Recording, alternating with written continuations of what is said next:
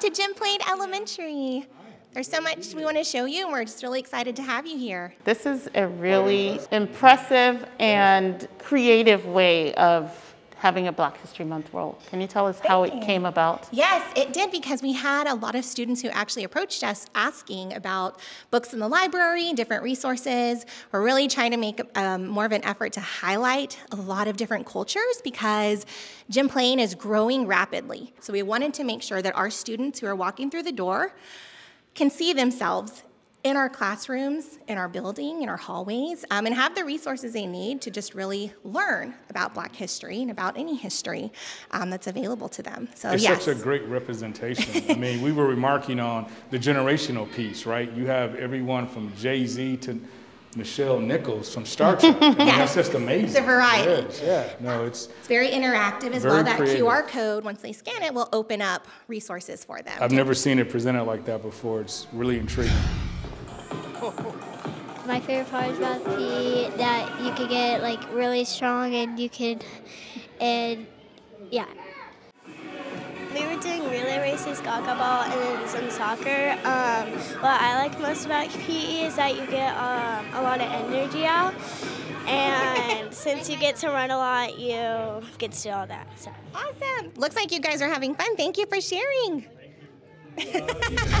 Mrs. Collar's classroom is full of life, full of love.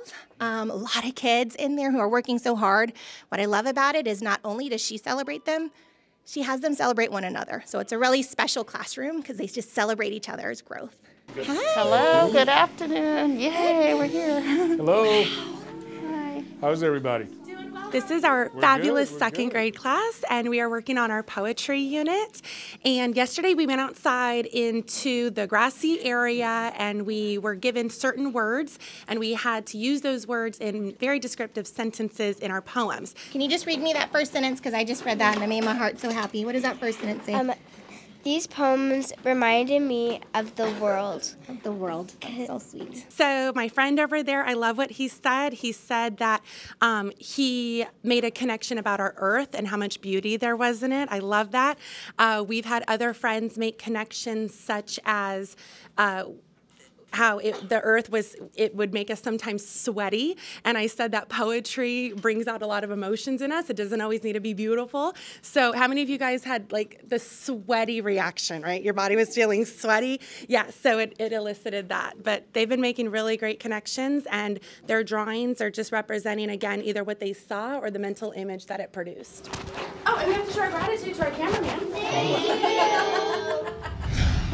We're just here to see the amazing work you're doing. It looks like you guys are working on something in groups.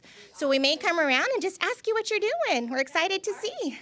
We each got a paragraph and Okay. we read it, and now we're having to write a summary about Oh, what yeah. we learned, Yeah. and we're gonna present it in Yeah, front yeah. of the class. So, That's terrific. So can you teach me something about President Roosevelt? well, yeah, it's kind of neat, but he was elected four times, and then afterwards they had to make the 22nd Amendment to say that you can only be president for two terms. What's one interesting fact that you learned? He actually made alphabet soup. He made alphabet soup? That is very interesting.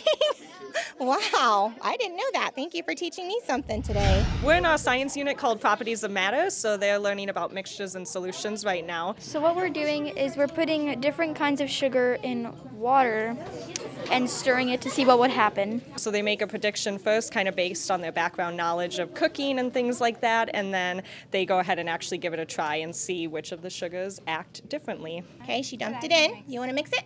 Oh, yeah. What what happened to the water? It just turned like foggy. It looks very cloudy, right? Foggy. Did it match your prediction? Did it did it dissolve? So which, so which one Yep. is this? So here at Jim Plain, we aspire to be a safe and loving community that empowers students to be lifelong learners who positively contribute to the world.